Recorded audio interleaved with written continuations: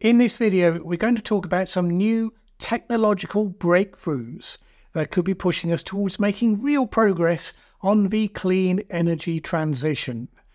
But for some reason, not that many people are talking about them. Let's discuss. When people talk about the energy transition from fossil fuels to clean energy, usually they end up talking about wind and solar power, which is fine, but these are intermittent sources. They have quite a big land footprint. There are good arguments why they should be part of the energy mix, and equally good ones why you shouldn't over rely on them. That's an engineering observation that for some reason seems to be controversial in some quarters, but whatever. So then they talk about nuclear power, which is fine. It's always on power and a much lower land footprint. And fourth generation nuclear promises to be better in lots of ways from the older tech. But it's hugely costly, it's slow to build, controversial to all of those who are asked to live next door to it, so even those governments that have been talking it up in theory, such as the UK over the last five years, have been slow to do much about it in practice. Then they talk about nuclear fusion, which is fine, but you can also talk about clean energy emitting unicorns for all the actual real world progress you can point to. When they talk about innovation for new energy sources, what people rarely quickly move to is geothermal energy. Geothermal energy, simply put, is where you dig an extremely deep hole in the ground in order to get to the heat that's stored beneath the Earth's surface. This is primordial heat from the original formation of the Earth. It takes quite a long time for a planet to cool, so there's still a huge quantity of hot plasma beneath the Earth's crust. It occasionally comes up to say hello, not in a way that we find especially useful.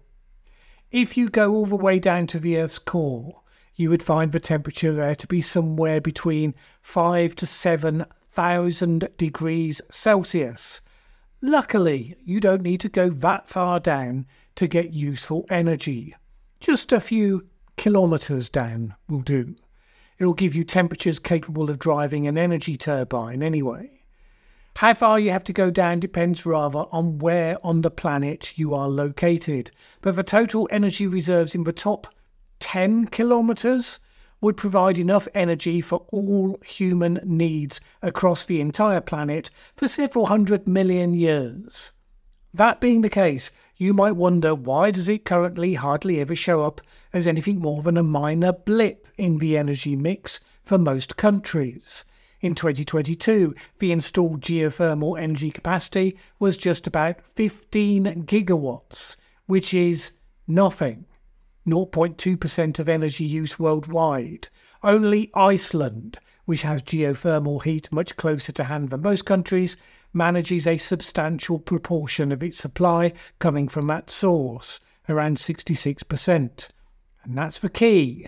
Iceland has the good fortune to have geothermal resources very close to the surface. In most of the world, you have to drill. Drilling a hole that is a few kilometres long, not quite as simple as it sounds, and therefore the cost of doing that is the biggest drag on geothermal deployment. The existing plants tend to be in the locations where you don't have to dig too far down to get going, and the tech has remained pretty static for quite some time. People who are seriously into drilling, well, they end up drilling for oil or for gas. And there didn't seem to be much incentive to innovate for this relative backwater technology. As you might expect, that is starting to change. And as you really should expect, as soon as people really start to focus in on an area, they find ways to make it better, quicker, and cheaper. So it seems we're about to see in this area.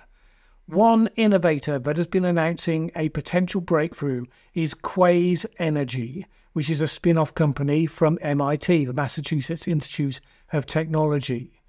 Their big moment is coming from a new type of drill, which uses microwaves called gyrotrons. Gyrotrons, I know, sounds very science fiction and much more interesting than just a better way to dig a hole in the ground.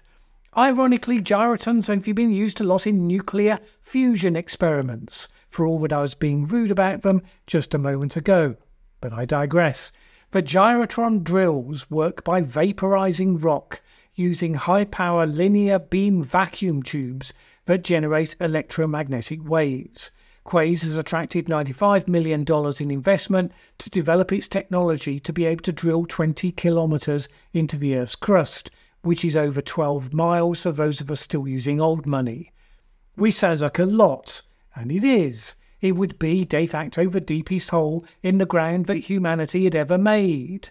And if you could make it commercially viable, you've just opened up something like 90% of all locations across the world where you could site a geothermal plant. Before that, the deepest hole that we dug, I say we, I can't claim I pulled my weight with this, was 12 kilometres down in Siberia. That impressive distance was achieved after 20 years of drilling. The deeper it got, the slower the dig became, finally stopping altogether, meaning that work was abandoned in 1992. Conventional drills are just not up to the high temperatures and pressures that deep.